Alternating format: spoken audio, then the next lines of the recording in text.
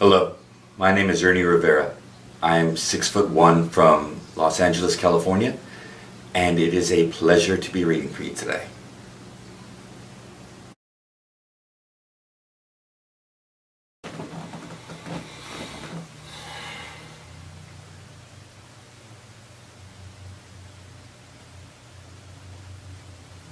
Can I tell you something? You laugh, I swear to God, I will never talk to you again. Music means more to me.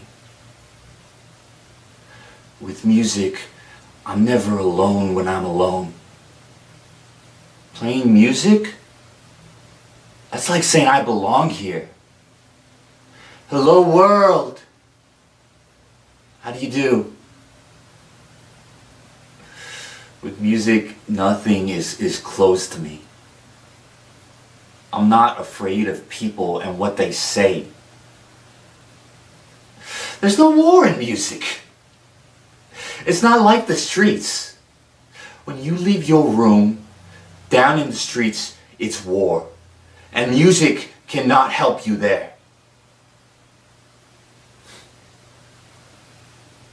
People have been hurting my feelings for years. I never forget. You can't get even with people by playing the fiddle.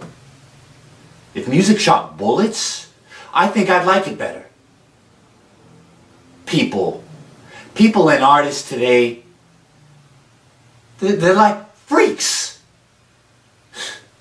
The world moves fast, and they sit around like forgotten dopes.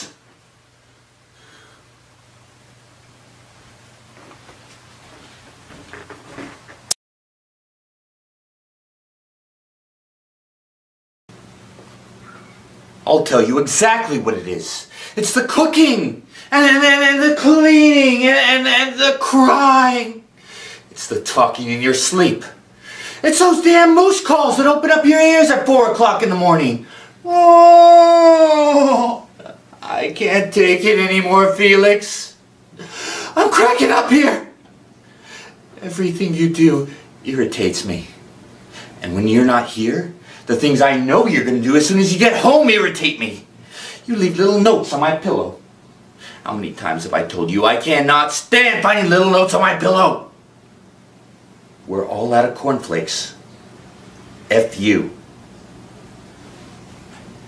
It took me three hours to figure out that F you meant Felix Unger! Look, it's not your fault, Felix. We're just a rotten combination, that's all.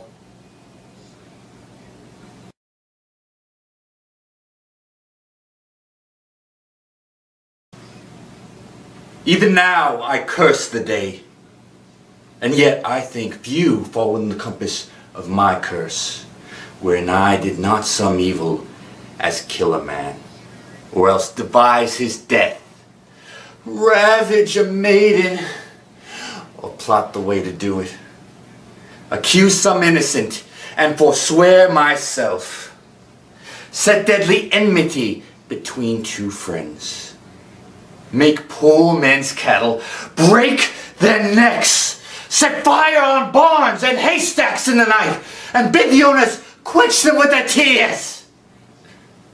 Oft have I digged up dead men from their graves and set them upright at their dear friends' doors. And on their skin, as on the bark of trees, have I carved with my knife in Roman letters let not your sorrow die, though I am dead.